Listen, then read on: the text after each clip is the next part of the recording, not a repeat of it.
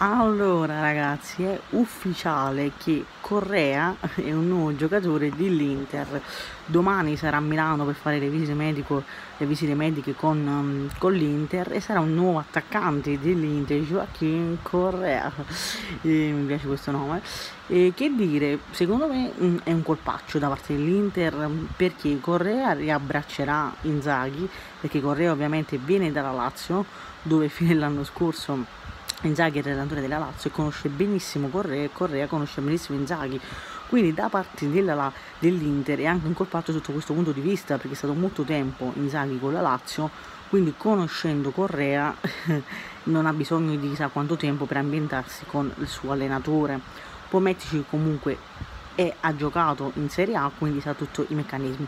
Correa è un grande colpaccio da parte della, del, dell'Inter perché secondo me eh, ehm, a me è sempre piaciuto tantissimo, ho sempre detto che secondo me la Lazio non ha creduto tantissimo in lui, io ho sempre detto secondo me che è stato troppo sottovalutato nella Lazio, che secondo me avrebbe dovuto avere più spazio, cioè ha 27 anni, non è troppo grande, non è troppo piccolo, quindi mh, mm, ha avuto secondo me non il giusto spazio nella Lazio, perché secondo me è un giocatore forte, corre, non ci sembra Correa, ma corre tanto secondo me, Correa, corre, corre, corre, corre, Correa. Ecco, diciamo, detto in breve. Allora, mh, mm, ovviamente va a sostituire un attaccante, quindi con Lautaro, Geco, Correa. Penso che si chiuda qui il reparto offensivo dell'Inter sostituendo il partente uh, Lukaku e un Sanchez ormai è, come si dice serve per il brodo Sanchez ormai è finito e quindi l'Inter completa così secondo me quest'anno il reparto offensivo. Allora, qual è la differenza tra Lukaku, Lautaro e Geco?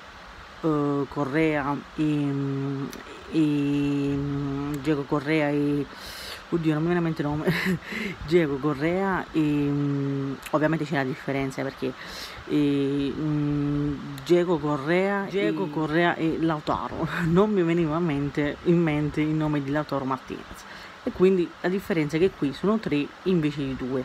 Allora prendendo Correa l'Inter allunga la sua rosa perché ha tolto un Sanchez che ormai era diventato un fantasma inutile però ha tolto un Lukaku che sinceramente è molto forte e sin ovviamente sinceramente Correa e Geco secondo me anche insieme non non riescono a, a comunque a, a soccombere l'assenza di Lukaku perché Lukaku e oltre a non per l'età 29 anni completo alto, grosso fisicamente, bravissimo e tecnicamente e per buttarlo giù ci voleva la mano di Dio e tecnicamente molto forte secondo me non sostituiscono Lukaku, Correa e Gego insieme però la differenza qual è?